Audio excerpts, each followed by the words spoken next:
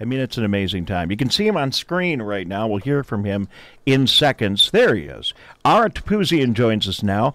Uh, you may know Ara if you were in Troy. He was uh, recently the the director of the chamber in Troy. Uh, you may also know Ara as the director of the chamber in Novi, and uh, he is now the executive director of the Michigan Venture Capital Association. And with all those acclaims and accreditations, the most amazing thing are you are now a guest on the, on the MegaCast. Thanks for joining us. Well, thanks, Dave, for having me. Just a little clarification. I was um, not the chamber director in Novi. Oh. I was the economic development director for the city of Novi, uh, and then president CEO of Troy Chamber of Commerce. All right. Well, sorry about that. And I know you sit on many other boards. Thanks for getting the resume. You know, when your resume is like 40 pages, how can I be expected to read the whole darn thing? I mean, come on you get a pass. All right, thank you very much. So, um, thanks for joining us. You're, besides being a good friend, you are uh, so connected to what's going on in the business community right now. Uh, what are your thoughts, uh, just general thoughts uh, during the coronavirus, and and how business is engaged, fighting for survival, and helping out? Well, I mean, I think the overwork, overused word of uh, unprecedented is is kind of what we're hearing all the time. Um, but I would say that, you know, Michigan businesses are fairly resilient. Um, what I am seeing are in, in my neck of the woods are folks really thinking differently about how they do business, how they interact with their customer base, um, because they're forced to. And, um, you know, you're seeing more, you know, obviously you're seeing more virtual webinars and we just uh, prior to joining you, we just finished one up uh, for our organization for this week. So um, people are acting differently in how they're you know really trying to stay alive and to stay relevant, which is really the key. And um, they're doing the best that they can. So, Ara, I'm really glad you're here today because, as the executive director of the Michigan Venture Capital Association, you are on the absolute front line of entrepreneurialism here in the state of Michigan, and and you are also the representative of those that would invest, not only be entrepreneurs, but invest in businesses going forward. Are are folks that are looking for business opportunities? I, I know you talk to them. Uh, you know, uh, how are they feeling right now? And and do you think that this thing we're going to come out of it like a V, like so many of us are, are hoping, and bounce right out of it, or or, or are people saying in the know that it, it's going to be a tough recovery for us? Well, it's a good question, Dave. I, I think it's going to be a mixed bag. Um, I think that there are uh, startups out there that um, certainly are going to be hurting um, what I'm seeing is that they're able to pivot and uh, maintain their cash reserve, which is important.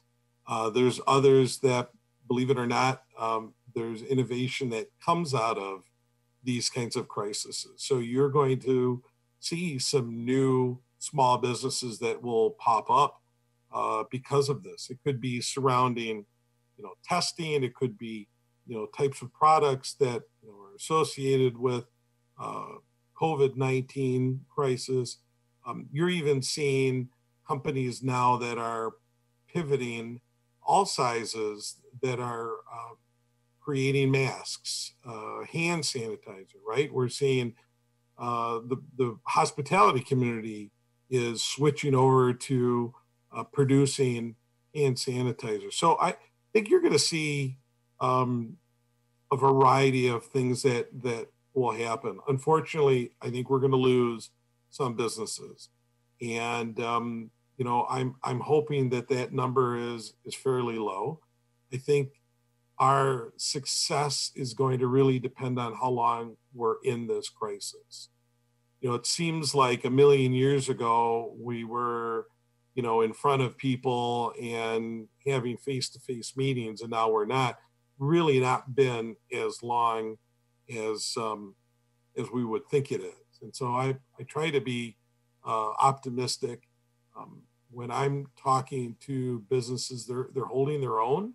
for the most part. But again, I'm I'm not dealing with your chamber of commerce kind of business for the most part, and so these um, these businesses have been uh, they understand the risk, and even our you know venture capital uh, organizations, firms, and whatnot, you know they're they're you know they they're accustomed to risk, and um, a lot of them are very seasoned so they've seen crisis before, maybe not to this magnitude, but the 0809 recession, 9 11, I mean, they know how to really uh, jump in and help their portfolio companies try to stay above the water. Ara Topouzian Executive Director of the Michigan Venture Capital Association. You know, I think we were in a pretty good spot Art, uh, from a VC standpoint. You know, right before all this happened, economy was good. People had money. They wanted to invest. People were starting new business enterprises. I mean, all you got to do is go into the city, you know, and look at how Detroit has just, I mean, it's amazing what's happened there.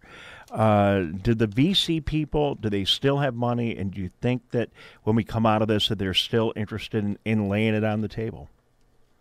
Yeah, uh, they still have money, uh, and they're still deploying money, but of course they're going to be careful about it. Um, they have uh, funding for what you know they would call like follow-up funding for companies that they've already helped you know seed. Um, we have got a research report that we do every year that really talks about the statistics of venture capital and angel investment uh, within the Michigan community. And we're going to be releasing um, some new numbers actually on Monday uh, that will really kind of speak to really how well the, the community is doing. Um, and without spoiling it at the moment, I would tell you that last year was a very good year for venture capital. Um, again, it's going to depend on how long we're in this crisis to see what kind of a, an effect it will have on venture capital activity. But I think what a lot of people don't realize, Dave, is uh, the, the pipeline is vast in Michigan.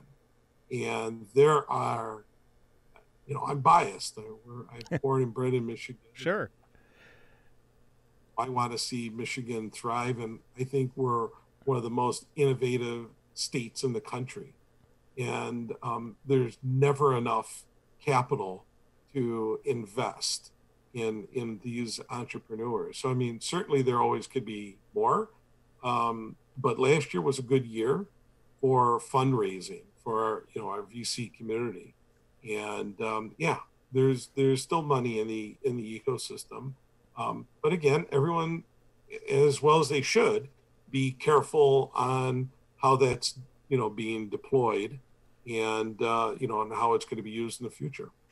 Yeah i mean i'm not a financial whiz. I don't even you know how to play in the pool that you're in but you would think with interest rates as low as they are that people that have money that want to make that money work for them uh, would be looking for other opportunities as long as it's safe. So, um, you know, maybe that's why, in in some part, why the VC market has been so strong, and we we just hope that it comes back uh, booming and uh, that our businesses are okay. You are also, uh, if you don't mind me uh, sharing with folks, you are also a board member of the Michigan Society of Association Executives. I always got to say that real slow to get it right.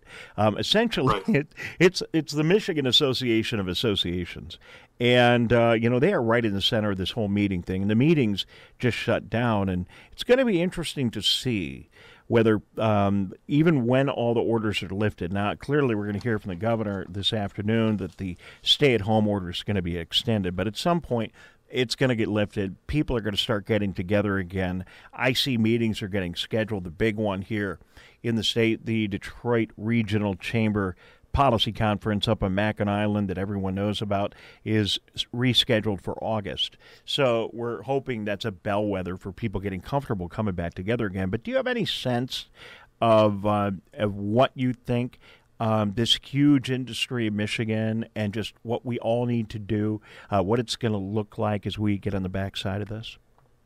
Yeah, no, it's an excellent question. Uh, I'm concerned for the association and chamber industry, to be quite honest. Um, when you think about what their main missions are, to support the business community. Uh, they're they're people organizations, whether you're statewide or um, more regionalized, localized organization that deals with membership.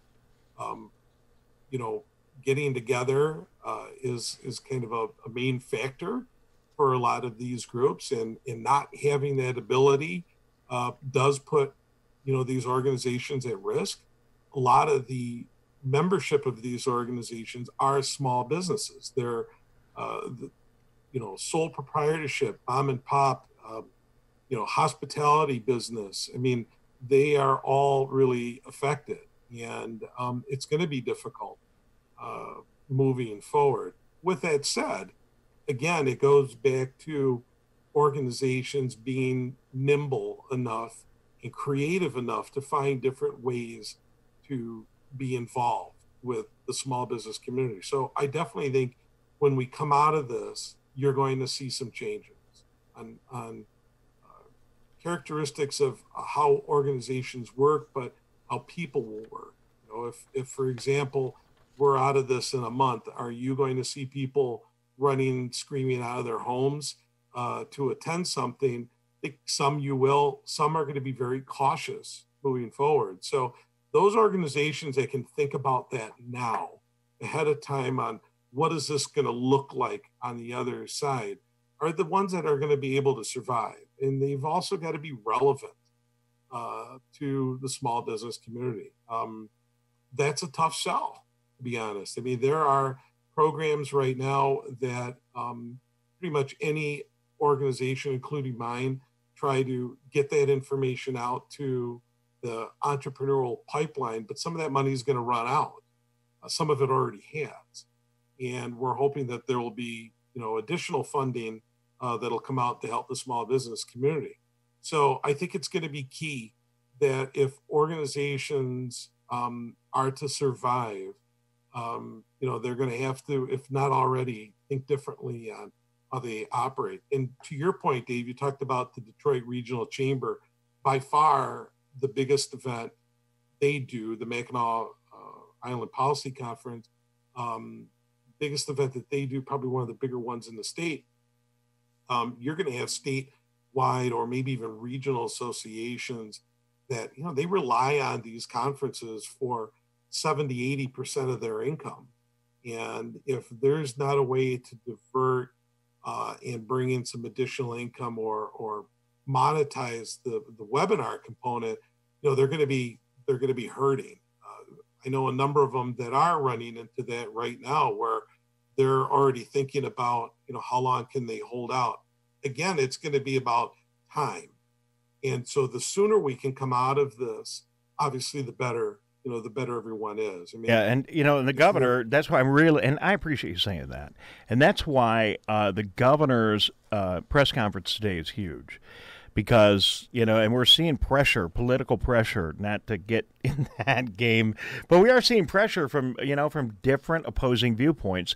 Viewpoint A, hey, you know, that you hear the president say the the remedy can't, uh, or the you know the the cure can't be worse than than the remedy or whatever. However, he says it. We got to add that to our uh, Tyler to our, uh, our our vocabulary, but you got that camp, and then you got the camp that hey, we got to do whatever we got to do to save lives, and we're going to shut things down. We're just going to shut things down. So, how that all gets worked out, it's going to be really interesting, Ara, to see how that plays out. We'll have a better idea here in Michigan this afternoon after we hear from the governor. Thank you. By the way, you did a great job being pundit here today on this show, and I like it when we get uh, non-media people being pundit. Your comments are very helpful, very insightful today are greatly appreciated. You're, you're, you're joining us via Zoom from your home right here in our in our Oakland County communities, and uh, this uh, you know information right from uh, grassroots levels really what's great. So and thank you for being so honest and honest and optimistic at the same time. Greatly appreciated. Thanks, Dave. Hey, we're all in this together, so we've got to. Uh, you know, this is this is a short-term issue, even though it, it, it looks bleak you know, we will all come out of this um, probably smarter, better, but we will come out of it. All right, and what the what our audience doesn't know, and I know, is that you're you're an amazing musician. So uh, next time that we have you on, maybe we can work a little music into this thing. What do you think? I'd be happy to do it. okay. What else is he going to say, Tyler? Thanks, Aaron. Appreciate it. Yeah. Ara Topouzian joining us today, the executive director of the Michigan Venture Capital Association.